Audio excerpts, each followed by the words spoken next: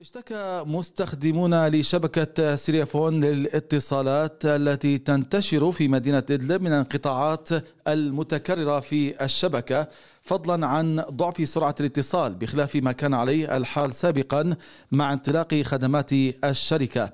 أيضا لمزيد من التفاصيل عن هذه الأمور معنا الآن عبر الهاتف الأستاذ سعيد قزة المدير العام لشركة سيريافون أرحب بك سيد سعيد.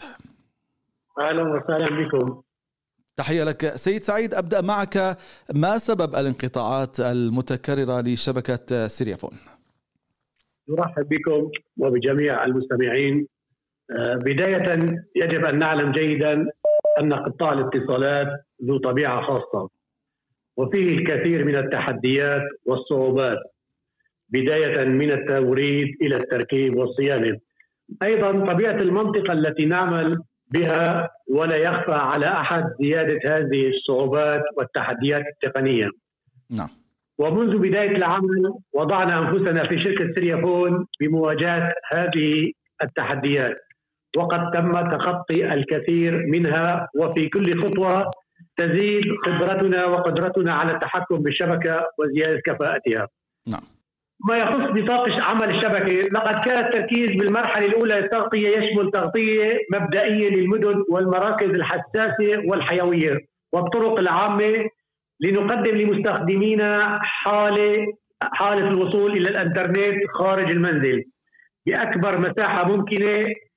مع بداية الشركة وزيادة عدد المشتركين بدأنا بالمرحلة الثانية من تخصيص وتعديل التغطية وتحسينها.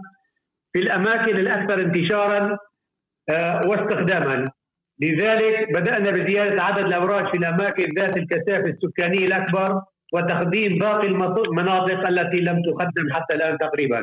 نعم، هناك توسعة لنطاق العمل آه، سيد سعيد.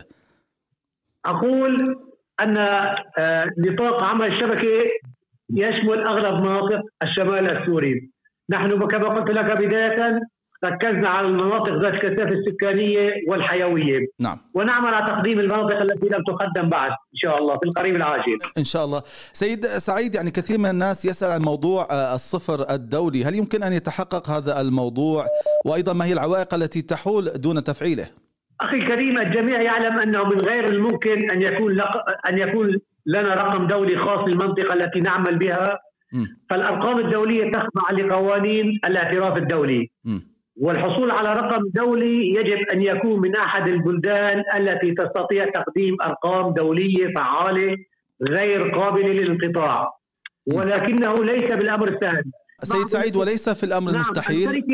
لا ليس مستحيل. م. الشركة كانت قد أبرمت بعض الاتفاقات المبدئية للحصول على رقم دولي في السابق. م. ولكن للأسف حصلت بعض الخلافات خلافات على طريقة تقديم الأرقام والكلفة المرتفعة لتزويد المستخدمين بها.